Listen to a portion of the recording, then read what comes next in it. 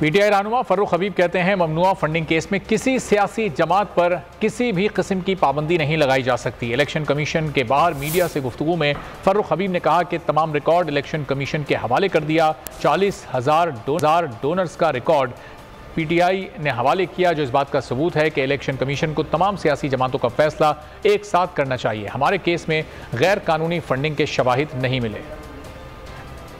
ममनुआ fund का हमने तमाम तरह अपना रिकॉर्ड फराहम कर दिया। हमारी कोई ममनुआ फंडिंग भी नहीं है। तमाम पैसा जो है वो बैंकिंग चैनल से आया। ममनुआ फंडिंग के अंदर किसी सियासी जमात के ऊपर किसी किस्म की पाबंदी जो है वो नहीं लगाई जा सकती। चौंसठ करोड़ रुपए का टी एम एल एन का जो रिकॉर्ड है, वो रिकॉर्ड मौजूद नहीं है। इसी तरीके से 35 करोड़ रुपए का पीपल्स पार्टी का भी जो रिकॉर्ड है, वो रिकॉर्ड अपनी जगह के ऊपर मौजूद नहीं है। मैं समझता हूँ कि ये अब इलेक्शन कमीशन की ज़िम्मेदारी बनती है कि वो एक तोज़ुन कायम करें और बगैर किसी इम्तियाजी सलूक के तमाम पॉलिटिकल जमातों का, तमाम सियासी जमातों का जो है वो फैसला इसके ऊपर करें।